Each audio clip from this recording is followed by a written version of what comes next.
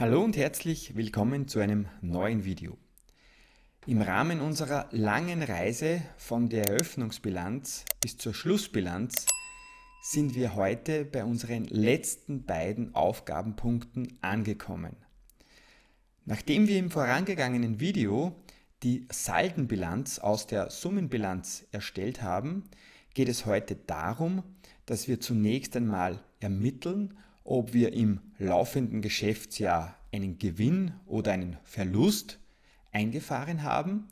Und wenn wir auch diesen Punkt erledigt haben, dann ist der letzte Punkt unserer Aufgaben die Erstellung der Schlussbilanz.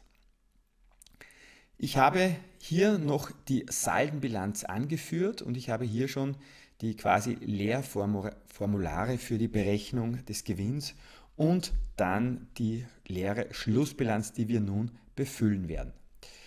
Schauen wir uns zunächst einmal die Saldenbilanz an, beziehungsweise die hier äh, aufgeführten Konten.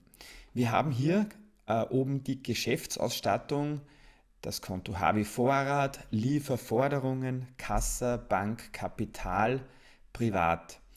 Ähm, wir wissen, dass hier, zumindest an dieser Grenze hier, Kapital einmal ein kleines Stopp quasi einzuziehen ist, denn diese Konten sind alle Konten der Bilanz. Die ersten fünf, also Geschäftsausstattung, HW Vorrat, Lieferforderungen, Kassa und Bank, sind aktive Bestandskonten und werden eben nachher hier die Bilanz, die Schlussbilanz befüllen. Das Konto Privat, das hat ja quasi eine Sonderstellung. Das haben wir schon gegen Kapital abgeschlossen und das Konto Privat stellt ja nur ein Unterkonto des Kapitalkontos dar.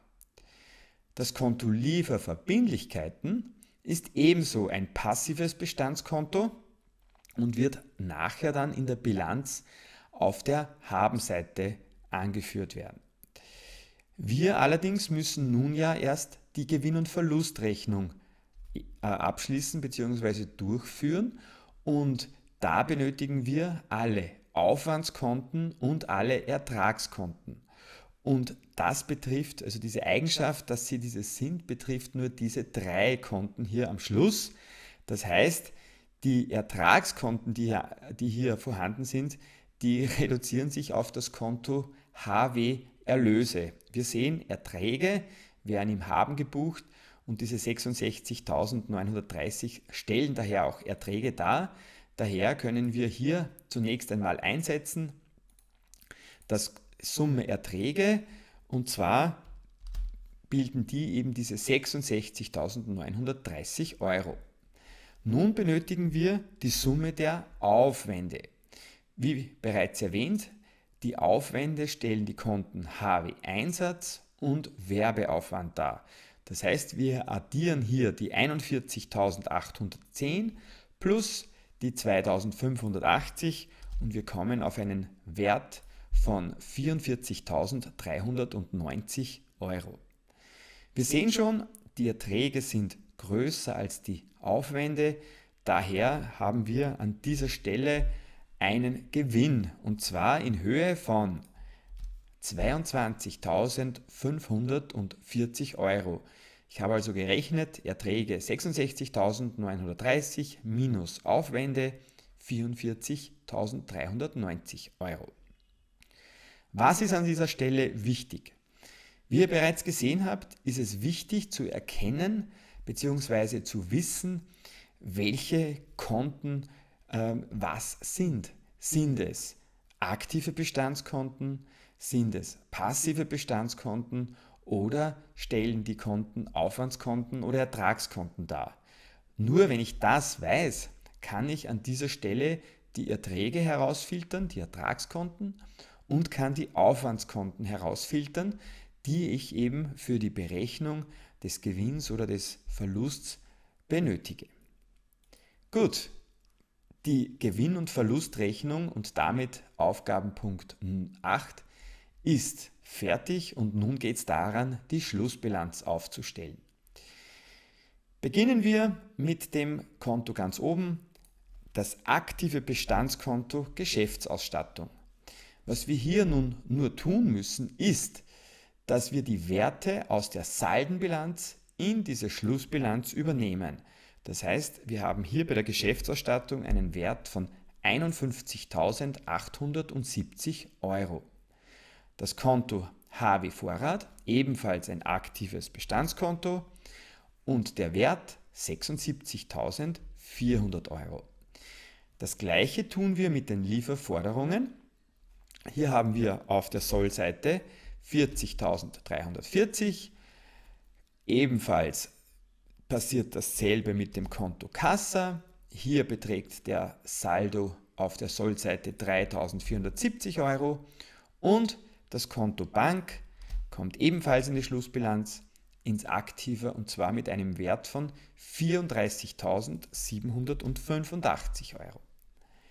Ich bilde hier jetzt eine Summe, eine Bilanzsumme Summe auf der Aktivseite und wenn ich all diese Posten zusammenzähle, dann komme ich auf einen Wert von 206.865 Euro. So, jetzt widmen wir uns der Passivseite. Wir wissen, auf der Passivseite haben wir diese zwei Konten, nämlich Kapital und Lieferverbindlichkeiten. Das Privatkonto scheint hier nicht mehr auf.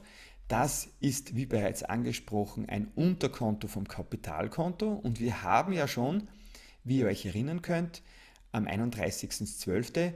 im Rahmen einer Um- und Nachbuchung dieses Privatkonto gegen das Kapitalkonto abgeschlossen und wir haben ja hier auch eben keinen Saldo mehr weil dieses, Kapital, äh, dieses Privatkonto bereits eben gegen Kapital abgeschlossen wurde. Gut, beginnen wir mit dem Konto Kapital. Wir haben am Kapitalkonto einen Wert gehabt am Anfang des Jahres. Und zwar war dieser Wert, den man hier, wie wir erkennen können, ich blättere nochmal zurück in die Eröffnungsbilanz, hier hatten wir einen Anfangsbestand von 100 55.762. Und diesen Wert trage ich hier als Anfangsbestand auch ein. Nun gab es zwei Dinge, die im Laufe des Geschäftsjahres dieses Kapitalkonto verändert haben. Und zwei, zwar sind es zum einen sind es Privatentnahmen. In unserem Fall hatten wir eine Privatentnahme und wir wissen, Privatentnahmen vermindern das Kapital und eine Privateinlage, das heißt, wenn die Unternehmerin oder der Unternehmer aus privaten Geldern Geld ins Unternehmen steckt, dann spricht man von einer Privateinlage. Das würde das Kapital erhöhen. In unserem Fall, wie gesagt, eine Privatentnahme in Höhe von 5000 Euro und diese vermindern unser Kapital. Zum Glück haben wir aber auch einen Posten, der unser Kapital wieder erhöht, nämlich wir haben ja einen Gewinn ermittelt.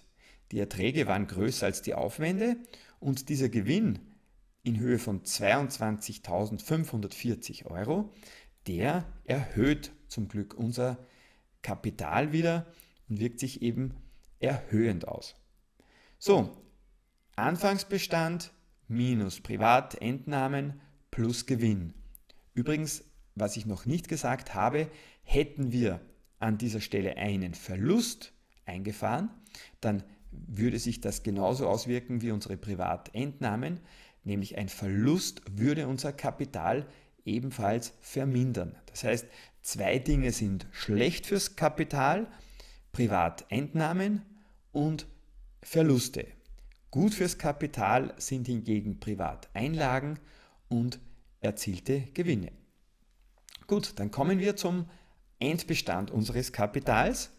Und wenn wir rechnen 155.762 minus 5.000 Euro Privatentnahmen plus 22.540 Euro Gewinn, dann kommen wir auf ein, einen Endbestand beim Kapital am Ende des Jahres von 173.302 Euro. Und das trage ich auch hier nochmal ein, weil ein, ein Posten fehlt uns noch. Wir haben das Konto Lieferverbindlichkeiten als passives Bestandskonto noch nicht behandelt. Das kommt hier ebenfalls in die Schlussbilanz und zwar mit einem Wert von, wir können ihn wieder der Saldenbilanz entnehmen, von 33.563 Euro. Und jetzt wird es spannend.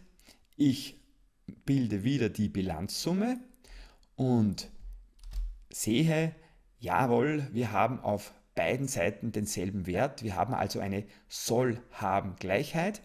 Und das zeigt mir, dass ich eben die Bilanz richtig aufgestellt habe und nun dieses Übungsbeispiel wirklich positiv abgeschlossen habe. So, das war unser Marathon von der Eröffnungsbilanz bis zur Schlussbilanz, wo wir eben alles äh, untergebracht haben, was so ein Buchhalterleben während eines ganzes, ganzen Jahres ausmacht, von der Eröffnung der Bestandskonten über die Verbuchung der Geschäftsfälle bis zur Inventur am Ende des Jahres mit dem, mit dem Abschluss des Privatkontos, äh, dann eben die Bildung der Summenbilanz, der Saldenbilanz und am Schluss eben die äh, Ermittlung des Gewinnes oder des Verlustes und der Aufstellung der Schlussbilanz. Ja, wir haben viel geschafft. Es war noch eine Reihe von Videos dazu nötig.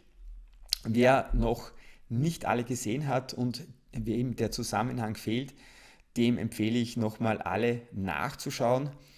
Äh, ich hoffe, die Videos waren lehrreich für euch und ich habe das Ganze langsam und geduldig genug aufbereitet. Äh, ich bedanke mich für eure Geduld, bedanke mich, dass ihr eingeschaltet habt, freue mich über Anregungen, Fragen, Kommentare und natürlich Abos und ich hoffe, ihr schaltet auch bald wieder ein beim nächsten Video. Bis dahin viel Erfolg und viel Spaß und danke nochmals fürs Einschalten. Ciao.